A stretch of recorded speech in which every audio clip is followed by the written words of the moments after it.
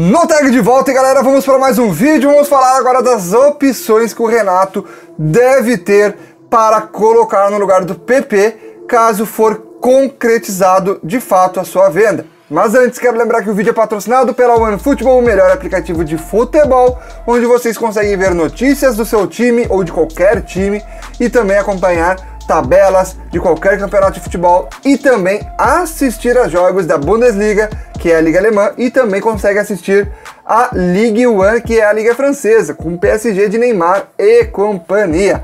Mas lembrem-se, é de graça, vocês não pagam nada. Só clica no link que está na descrição, que é tanto para Android como para iOS, que é o iPhone. Então, mano, baixa aí que vocês ajudam também o canal vocês baixando por este link, beleza? Então, vamos pro vídeo, vamos falar sobre os possíveis nomes que o Grêmio pode estar uh, tendo aí, né?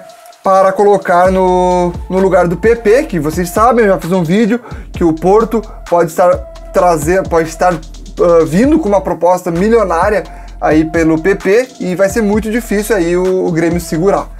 Então a gente já tem que pensar nas possibilidades de jogadores que possam estar entrando no, no, lugar de PP. E a gente vai citar todas as opções que o Renato vai ter.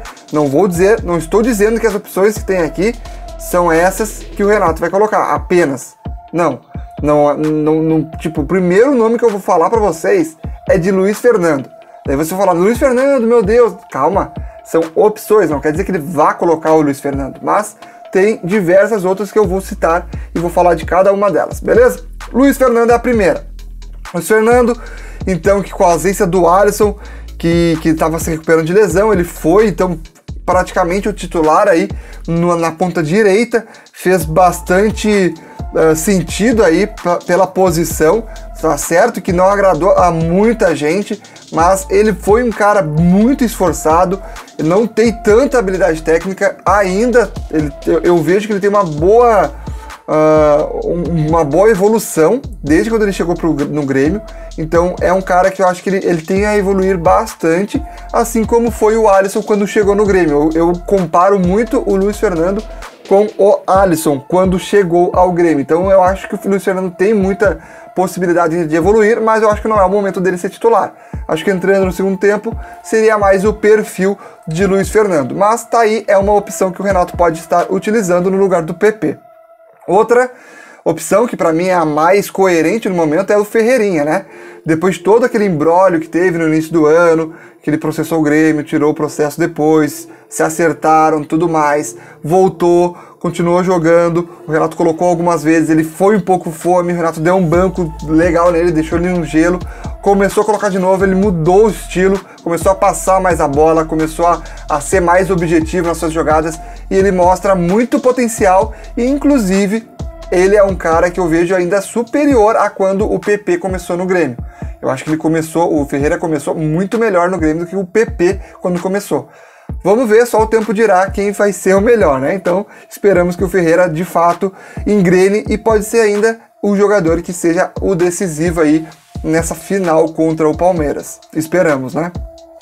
Outra opção é o Everton Cardoso, o Everton que veio na troca do São Paulo aí pelo Luciano, né?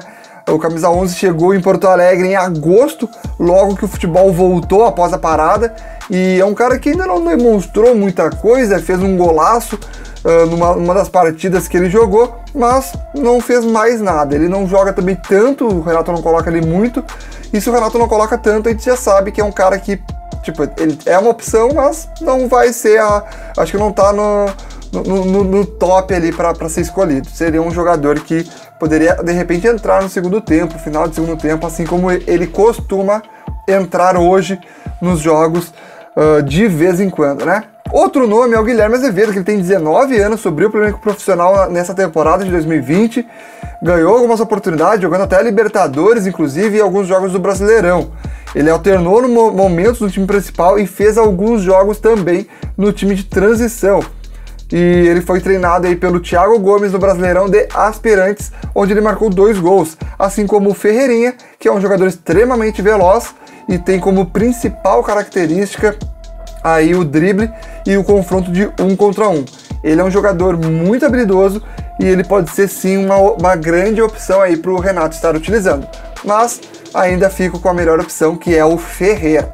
Outra opção que para mim, quem pode tirar essa, essa, essa titularidade do Ferreira seria apenas esse jogador, que é Elias. O Elias Manuel, um dos principais destaques do, da base do Grêmio, que ele foi na temporada de 2020 um dos principais uh, artilheiros também na, na, transição tricolor, onde ele fez diversos gols, depois de chamar a atenção de todos aí nessa disputa da, da Copa São Paulo de, uh, de futebol júnior, quando o Grêmio foi vice-campeão o jogador de 19 anos continuou em boa fase aí, como eu estava falando, no Brasileirão de Aspirantes, onde ele jogou muita, mas muita bola mesmo. A gente já viu diversas vezes, já mostrei aqui gols e lances do jogador, que ele parece um, um, um jogador uh, muito mais velho pela idade que ele já tem. Muito mais velho que eu digo por uh, maturidade, né? Maturidade e experiência. Ele tem, um, ele tem uma uma vontade também fora do normal, cara. É um jogador que o Grêmio tem que investir muito e, pelo amor de Deus, não perde o Elias, que é um jogador que a gente vai a gente vai ouvir muito o nome dele, eu já falo aqui nesse canal faz muito tempo. E ele renovou seu contrato até 2024. Ele tem 19 anos e tem uma, vai, vai ter agora uma multa rescisória de 100 milhões de euros, equivalente a 630 milhões de reais. E ele chegou a ser inscrito na Libertadores de 2020, mas acabou não sendo utilizado. Inclusive, no final agora uh, desse ano, ele acabou se lesionando. Ficou, ia ficar sete semanas fora, agora acho que faltam umas três semanas, quatro. Acho que janeiro agora, final do, metade final de janeiro, ele já tá voltando aí a treinar e a jogar. E temos outros dois também, é o Léo Pereira e também o Tylon. O Léo Pereira, garoto de 20 anos, chegou no Grêmio este ano, uh, tem contrato de empréstimo com o Clube Gaúcho até o final de 2021. E o atacante já faz parte do elenco profissional, já fez na verdade, né? Parte do elenco profissional do Corinthians. Eu já tinha falado aqui também para vocês sobre o Léo Pereira. E no início desse ano, ele disputou a Copa de São Paulo de Futebol Júnior pelo Corinthians, que foi eliminado na semifinal pelo Internacional. E ele tem características de atacante pelo lado, usando muito mais a sua velocidade e a sua intensidade e também teve destaque no Brasileirão de Aspirantes com o Tricolor, onde ele jogou aí 14 partidas. E o Tylon, ele tem 19 anos de idade, o ponta já figurava no elenco profissional do São José. Ele disputou o Galchão, a Copa do Brasil e a Série C neste ano.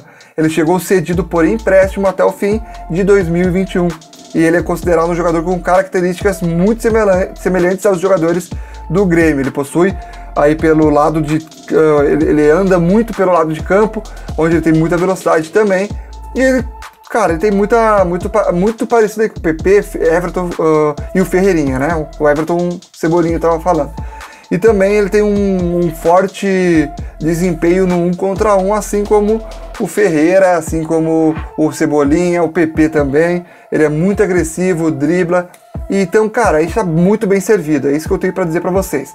Temos aí Tylon, Léo Pereira, Elias Manuel, Guilherme Azevedo, Everton Cardoso, Ferreirinha, Luiz Fernando. Cara, opções não faltam para o Grêmio. Só do elenco profissional temos Luiz Fernando Ferreira, Everton Cardoso, Gui Azevedo e o Elias Manuel, que subiu recentemente. E ainda da base que pode subir tem o Léo Pereira, o Tylon e mais alguns garotos da base também que ainda não foram cogitados, né? Mas tem uma fila grande de jogadores que podem sim estar entrando no lugar do PP. Cara, a gente vai sentir falta do PP? Vamos sentir falta. Mas a gente vai de fato uh, ser prejudicado por, pela falta do PP? Daí eu já, já não sei te dizer. Eu acho que o Ferreira seria o jogador, um, o melhor jogador, a melhor opção hoje pro Grêmio. E eu acho que ele vai estar uh, substituindo muito bem o PP e quero saber a opinião de vocês. Deixe nos comentários aqui embaixo. Se inscreva no canal que é muito importante. Lembrando mais uma vez, eu não estou por casa nesse final de semana, por isso que eu estou no estúdio aqui, no estúdio, no quarto aqui da minha namorada. Por isso que vocês estão vendo que estou num cenário diferente gravando aqui com o meu celular. Beleza? Valeu, gurizada. Até o próximo vídeo. Falou. Fui.